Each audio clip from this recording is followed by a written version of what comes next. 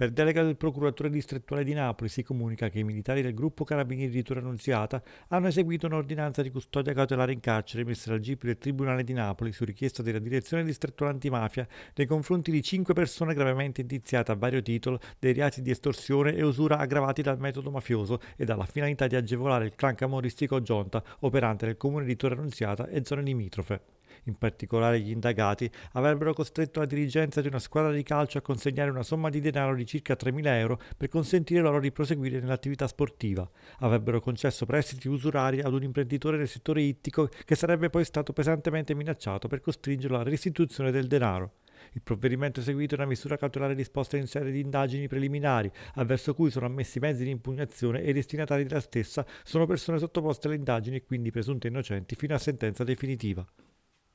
Uhum.